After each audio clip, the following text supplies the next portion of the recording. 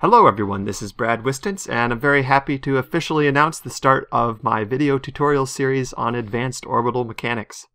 This series is going to assume quite a bit of prerequisite knowledge when it comes to orbital mechanics. You already should have successfully completed some missions to other planets and their moons, and you should thoroughly understand the Oberth effect, Hohmann transfers, and the effect that prograde, normal, and radial burns have on your orbit. As in most things, orbital maneuver techniques build on themselves, so if you don't have this prerequisite knowledge, it's going to be just about impossible to follow this series unless you're way smarter than I am. If you are interested in building this foundation, or if you're following the series and find that you're just missing something, I will include resources in the description on basic and intermediate orbital maneuvers. Next, let me talk about the format of this series. The motivating point here is to learn how to do complex gravity assists involving flybys of multiple planets and moons to do a single transfer as efficiently as possible. There are a lot of techniques that are not standard foundational knowledge in how to do basic transfers in this game that we're going to need to know to do these complex gravity assists. So each video in this series is going to focus on a different topic that we're going to need, and it's all going to build towards this final goal. I'm considering this video the introduction, so the next video will be part 1. That's going to focus on low TWR orbital maneuvers, because those will increase our efficiency in any maneuver that we do, so we're going to want to be using that throughout the series. To give a sneak peek of the future, in the introduction here, I'm going to demonstrate how to save Delta V getting to Minmus by doing a gravity assist off of the moon. In the complete episodes on gravity assists, I'll go into depth on each step, using the techniques we've learned along the way to understand why it works. In this introduction, I'm going to move quite a bit quicker, but I do still encourage you to try to follow along and see if you can do these maneuvers with me. I'm going to be using the mod precise node to edit my maneuver nodes. You don't absolutely need this, but it will make it easier to follow along, and I'll leave a download link for it in the description. For the sake of learning how to time rendezvous, we're going to go for a gravity assist off of the moon that'll give us a direct transfer to Minmus with no orbits of Kerbin in between. First step is to set a normal prograde maneuver, just like we were going normally to the moon. We're going to need a bit less than 860 meters per second, so I'm going to start with an 860 meters per second prograde node, and then move it around until I have a rendezvous with the moon. When we rendezvous with the moon, our velocity relative to the moon is going to be in the opposite direction of our velocity relative to Kerbin. This means that any rendezvous with the moon will increase the apoapsis of our orbit. In the gravity assist episodes, I'll dive fully into the weeds of theory on why this works. Right now, our goal is to just get the first gravity assist under our belt. The next step is to precisely determine the minimum magnitude of maneuver needed to give us a rendezvous of the moon that will then give us an unpowered gravity assist to Minmus. We're going to do this by editing the time of the maneuver and the prograde velocity of the maneuver until we've minimized the prograde velocity while still giving us a rendezvous of the moon, which will throw us onto an orbit of Kerbin with an apoapsis equal to the altitude of the orbit of Minmus. We're going to do this by editing the time of the maneuver in the direction needed to increase our projected apoapsis after the rendezvous of the moon.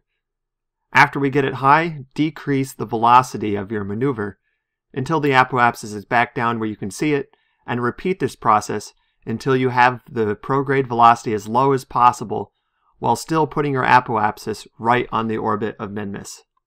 Don't worry about getting this exact yet, because right now we're just estimating the magnitude of this maneuver.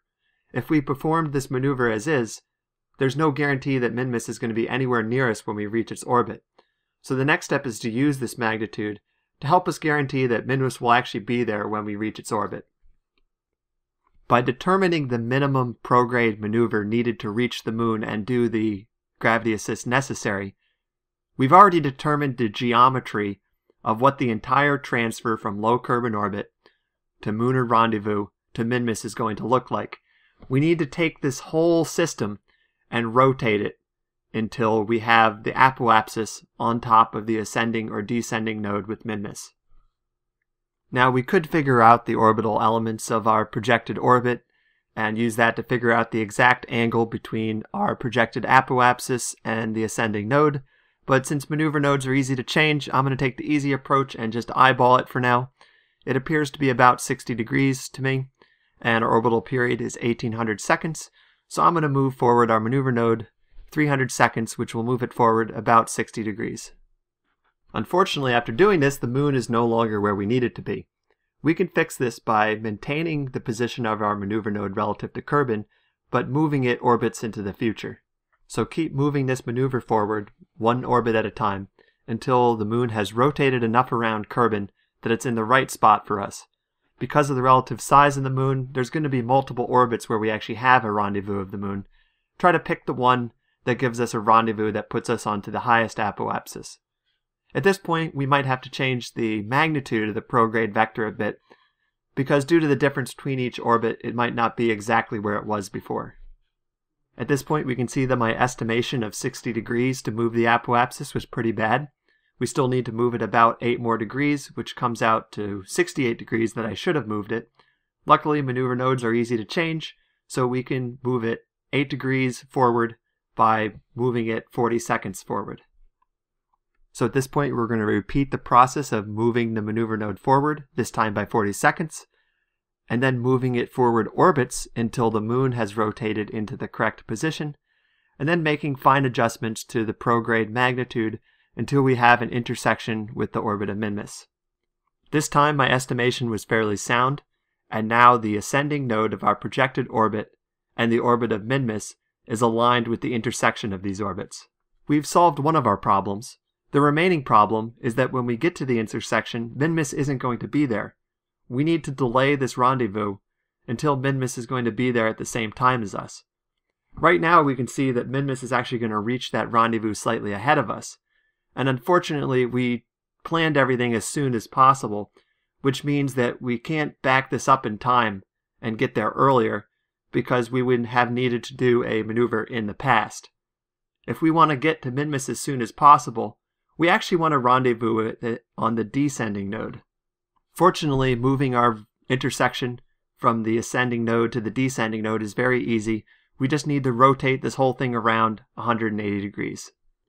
Our orbital period is a little over 1,850 seconds, so to move our apoapsis forward by 180 degrees, I'm going to move forward my maneuver node 930 seconds. After doing this, we're going to have to repeat the steps of moving forward with the maneuver node in orbits until the moon has rotated into the right position. And then we're going to have to do some fine tuning to line up our intersection again. This fine tuning consists of making small changes to the timing of the maneuver and the prograde vector of the maneuver. And this is definitely the trickiest part. There's no replacement for playing around with it until you get it to work. Finally, we need to solve the problem of Minmus not being at the intersection when we get there. Fortunately, the orbital period of the moon is a lot smaller than that of Minmus, so we can wait entire orbits of the moon, and this will allow us to inch forward the position of Minmus when we get to the intersection. To stall out orbits of the moon, we're going to use the same approach we've been using. I'm going to move forward our maneuver node in orbits of Kerbin until the moon will have completed another full rotation, and I ended up doing this three times before Minmus was as close as possible to our intersection. Now in general, this isn't going to line up exactly, because the moon still has a significant orbital period that prevents us from having too much choice. However, close is good enough here, because we will be able to fix this with an extremely small correction burn. In general, this won't be exact, because the moon still has a significant orbital period which prevents us from having unlimited choice. However, you'll always be able to get it close enough that with a little bit of correction, we'll still be able to get a direct intersection with Minmus. In the example we see here, Minmus is going to be ahead of us when we reach the intersection. So what we need to do is to move the argument of our projected apoapsis forward in the positive direction. As you might have expected, we're going to repeat our method again of moving our maneuver node forward a little bit in time, and then waiting orbits of Kerbin for the moon to be in the right place. And we're going to keep repeating this until Minmus is exactly at our intersection when we get there. Because we're moving it in the positive direction, I'm moving my maneuver node forward in time and then moving forward orbits in time. If you have the reverse case, where Minmus was going to be behind you when you reach the intersection, you need to move your maneuver node further back in time and then go back orbits of Kerbin for the moon to be in the right place. After we've plotted a rendezvous that actually goes through Minmus's SOI, we can optionally make some fine corrections to try to give us a low approach of Minmus. We're going to be doing a very small correction burn after passing by the MUN to get this exact, so this is optional, but it will increase your efficiency. It's going to be extremely important that our ejection burn from Kerbin is done as precise as possible. This should be easy with this test craft because it has an extremely high TWR. For how to do this with low TWR, that will be the subject of the next installment in this series. After completing the main ejection burn, I'm going to plot my correction. For ease, I'm going to put this halfway out to the moon, and because I was very precise with this ejection, this correction is going to be extremely small, in this case only a tiny fraction of 1 meter per second. If you've made it this far, congratulations, because gravity assists are probably the single hardest thing to do properly in this game, and watch as the moon slingshots you for free delta V. So far, we've used 855 meters per second delta V from 75 kilometers Kerbin orbit, but how fast we're approaching Minmus is also important here, so let's wait until we inject into a low Minmus orbit to take stock of how well we did.